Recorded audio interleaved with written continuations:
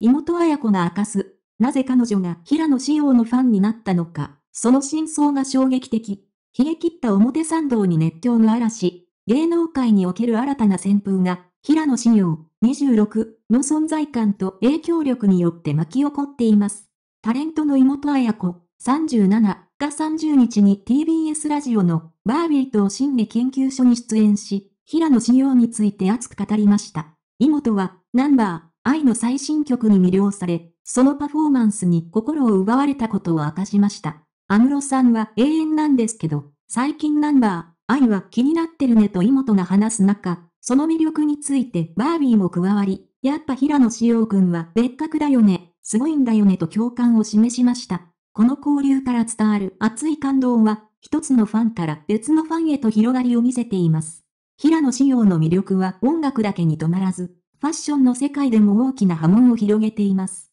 妹は表参道で目撃した出来事を通じて、その一端を伝えました。昨日も表参道のイブ・サンローランの前を通ったわけ、すごかったのよ行列が。平野志陽さんが口紅のイメージキャラクターになったじゃない。店頭のモニターに映ってるんだよね。平野志陽さんが、それを見にすごいの表参道に行列ができていてと興奮気味に振り返りました。この出来事は、平野志陽がファッション界でも一石を投じ、その影響が広がりを見せていることを物語っています。彼の個性的なスタイルと、自身が口紅のイメージキャラクターとして活躍していることが、多くの人々にインスピレーションを与えているようです。寒いのよ昨日もすごいなと思って、やっぱ推しっていいよね、推したいよ私も。と、妹は感慨深く語りました。このコメントは、平野紫耀が引き起こすブームが単なる一時のものではなく、多くの人々にとって感動的で意義深いものであることを証明しています。多くのアイドルとの共演経験を持つ妹彩子とバービーの両氏が、平野紫耀のスター性と影響力について語る様子は、ファンたちにとっても新たな発見となることでしょう。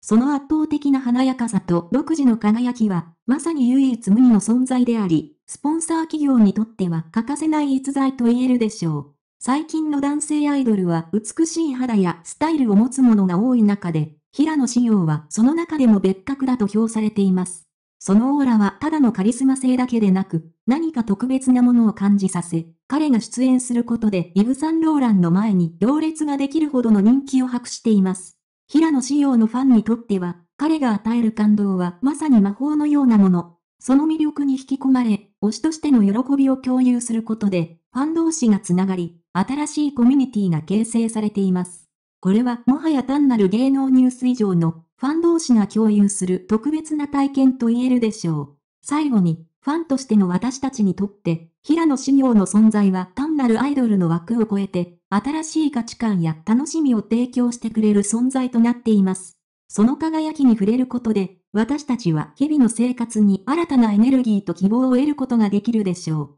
平野紫耀の魔法はまだまだ続きそうです。